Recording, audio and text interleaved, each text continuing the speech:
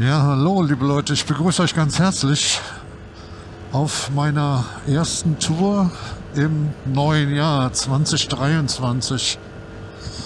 Ja, Im Prinzip komme ich gerade zurück aus der Eifel. Wollte eigentlich äh, nach Monschau fahren. Monschau, ja, ich war auch bis da, aber oh, Leute, es war ziemlich unangenehm, über die Höhen der Eifel zu fahren und äh, da zog sich auch auf einmal das Wetter so extrem zu. Naja, egal. Aber was soll's. Es war trotz allem eine schöne Tour bis jetzt und jetzt bin ich auf der Rückfahrt. Ja, worum geht's? Ähm,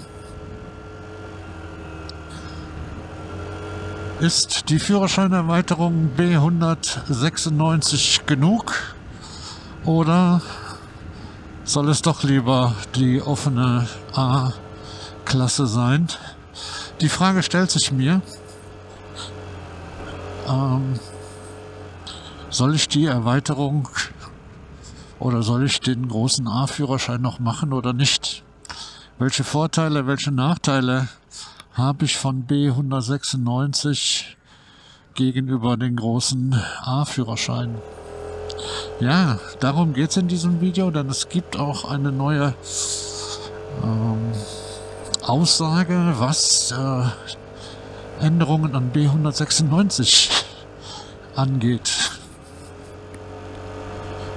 Mein Name ist Roland und äh, ich begrüße euch ganz herzlich auf meinem Kanal Vespa Lifestyle Aachen. Schön, dass ihr dabei seid, Leute.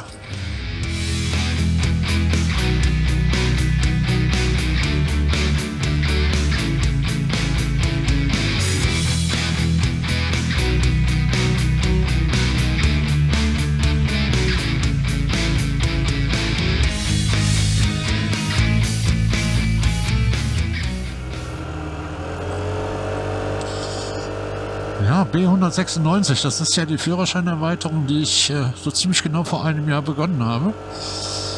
Und äh, die Voraussetzungen für B196 sind ja mindestens 25 Jahre muss man alt sein. Und man muss mindestens den Führerschein Klasse 3, also B, den B-Führerschein haben. Dann kann man über eine Einweisung bei der Fahrschule äh, diese Erweiterung machen. Das habe ich gemacht.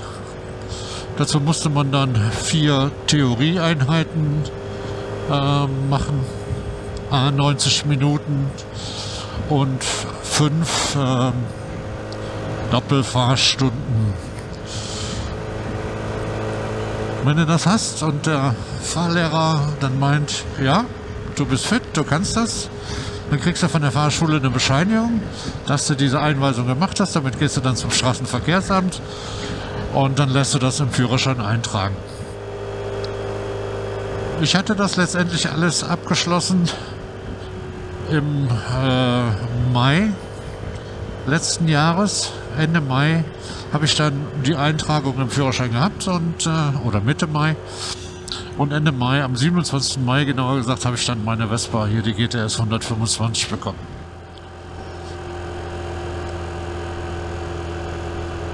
Bei der Einweisung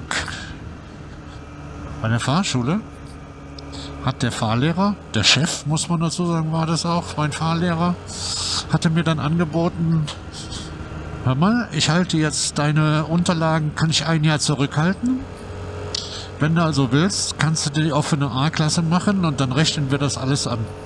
Bezahlt hatte ich seinerzeit 700 Euro. Ja. Äh, und er meinte auch zu mir, Fahrstunden braucht man dann nicht mehr so viele. Du kannst das alles recht gut. Dann beschränken wir uns auf das Minimum. Und dann kannst du das dann, kannst du den offenen A-Führerschein machen. Ich muss natürlich allerdings dann die gesamte Theorie machen und Theorieprüfung alles machen. Ja, und das ist das, was mich ehrlich gesagt, äh, ich will nicht sagen abschreckt, aber wo ich nicht unbedingt die große Lust drauf habe. Sagen wir es mal so, Leute. Oh, in meinem Alter mit 58 dachte ich Schulbank drücken. Naja, ich meine, Gut, also gehen würde das schon, aber so richtig Bock habe ich da drauf nicht. Und äh, für mich reicht der B196. Es gibt eine Sache, die ist äh, ja tatsächlich, da ist man, oder sagen wir so, man ist in zwei Sachen eingeschränkt, was die B196 Einweisung, ähm, Erweiterung angeht. Zum einen ist das die Beschränkung auf maximal 125 Kubikmaschinen mit 15 PS. Das empfinde ich ehrlich gesagt als nicht so schlimm. Meine Vespa hat äh, 125 Kubik und 14 PS und für mich reicht das, ganz ehrlich. Ja, die zweite Einschränkung, die B196 hat, ist, man ist damit nur auf Deutschland beschränkt. Das heißt, ich darf damit nicht ins Ausland fahren. Naja, und hier Aachen ist ja Dreiländereck nach den Niederlanden rüber und auch nach Belgien. Und gerade Belgien, die Ardennen, das ist natürlich auch ein herrliches Gebiet, wo man dann fahren kann.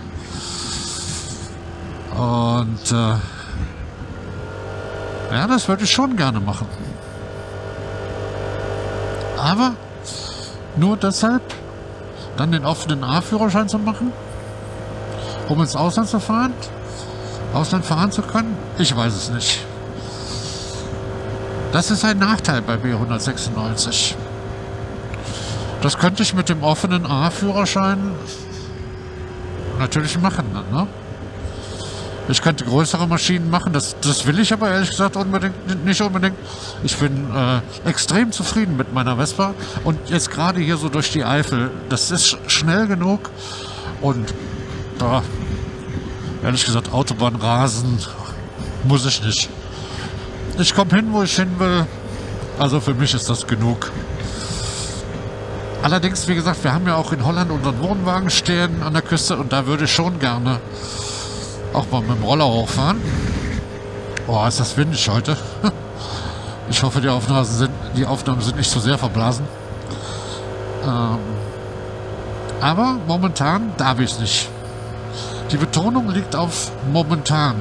Denn Jetzt Anfang Januar, am 2. Januar, glaube ich, oder am 3. Januar, hat der ADAC einen Artikel veröffentlicht, wo wohl in diesem Jahr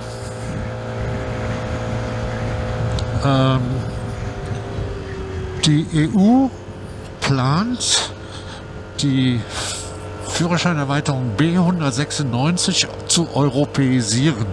Das heißt, ähm, die Erweiterung wäre dann im gesamten EU-Gebiet gültig. Die gibt es ja in anderen Ländern genauso. In Österreich, ich weiß nicht, ich glaube, weiß nicht, wie sie da heißt, heißt nicht B196, heißt dann irgendwie anders. Ist ja egal, aber im Prinzip ist es dasselbe in grün. So. Also, warum soll man das nur national beschränken? Ist ja ehrlich gesagt der totale Quatsch, ne? Ja, wenn dann die B196 Erweiterung für das europäische Ausland ist und ich dann nach Holland und Belgien auch reinfahren kann, dann wäre das schon sehr, sehr gut. Aber ich habe natürlich auch noch das Angebot von meinem Fahrlehrer, also von dem Chef, ähm, halt eben die offene A-Klasse zu machen. Jetzt muss man auch dazu sagen, im Prinzip sind die, sind ja gewiefte Geschäftsleute.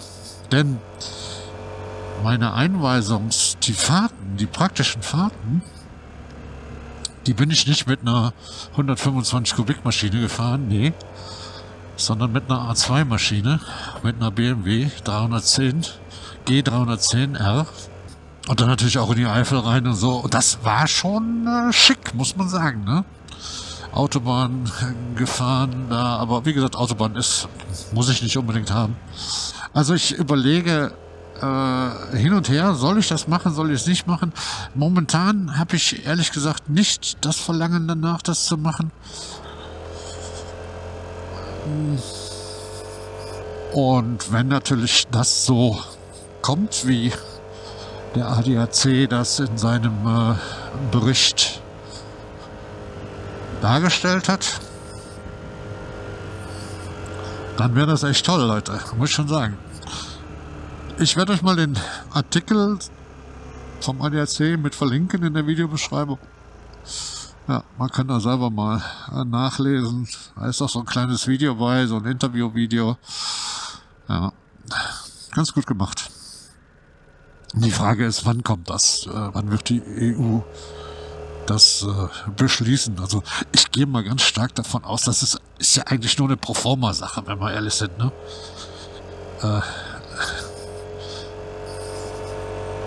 Es sei denn, die wollen da wieder Geld rausschlagen und dann muss das dann einen einheitlichen Namen haben und keine Ahnung, dann musste wieder, äh, dann müssen die Führerscheine wieder umgeschrieben werden und und und und.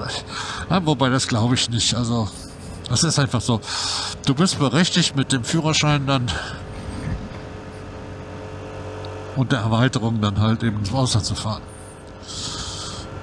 Ja, was haltet ihr davon? Schreibt in die Kommentare rein, wie ihr das seht. Ah, das war heute schon, obwohl es noch mal ein bisschen ungemütlich ist von der Wetterlage her. Der Himmel ist zwar schön blau, aber ähm, der starke Wind und der ist auch noch sehr kalt und über der Eifel, uh, Leute, uiuiui, da hat es gepfiffen, da war es kalt. Aber es hat tierisch Spaß gemacht. Oh ja, das ist Kaffee, ich freue mich. Kaffee, Kaffeemaschine. ah, ich habe so einen kleinen Kaffeevollautomat, das heißt, die, der Kaffee, die Kaffeebohne wird frisch gemahlen und so. Mh, lecker. Ah, das Wetter ist sehr herrlich, ne? Wie gesagt, aber es ist doch stark windig. Boah. Und als ich vorhin über die Höhen so bei Rötgen gefahren bin, über Rötgen da oben Haus raus, Oh, Leute, da hat der Wind gepfiffen und da standen richtig fiese Windböen. Das war schon sehr, sehr unangenehm, da zu fahren. Wenn du da bei der Landstraße mit, mit äh, 100 knallst, auf gut Deutsch gesagt, und du auf einmal so eine Böe von der Seite bekommst, ey, da ist schon äh, nicht so, nicht so, ne, ne, ne, ne. Muss man nicht haben, ne? In Monja selber, ich bin, bin bis wirklich nur vor den Toren von Monja gefahren. Ich wollte eigentlich rein und so ein bisschen auch eine Foto, ein Fotowalk machen. Ähm, aber da zog sich das Wetter zu, es pfiff da, es war eisig kalt. Nee, das hat keinen Spaß gemacht. Da habe ich gedacht, was machst du jetzt? Fährst du wieder heim? Schnauze voll. Ich freue mich jetzt auf eine Tasse Kaffee. Ach hier, vielleicht können wir das sehen. Hier, ich habe mir so eine Thermo-Überhose noch zugelegt. Ähm, bei Amazon geschossen für echt kleines Geld. Äh, was war das? Unter 40 Euro. Äh, ist so eine Wind- und die Wind- und Regenbeständig. Und ist so ein Thermostoff halt, ne? Boah, die ist extrem geil, ne? Ihr kennt das, wenn ihr so eine Jeans, Jeans anhabt, da hast du zwar darunter so eine lange Thermofunktionsunterwäsche, aber wenn Jeans ja einmal kalt ist, das ist ja, ähm, boah, nee, das geht ja dann gar nicht, ne? Das geht ja dann komplett durch, ne? So, und das hier hält, die hält extrem gut ab. Ich, äh, verlinke euch mal, äh, den, den Artikel bei Amazon. Liebe Leute, ich hoffe, euch hat das Video gefallen. Wenn ja, lasst gerne ein Like da, gerne auch ein Abo. Ich wünsche euch noch ein schönes Wochenende. Wir sehen uns im nächsten Video. Bis dann, Leute. Tschüss.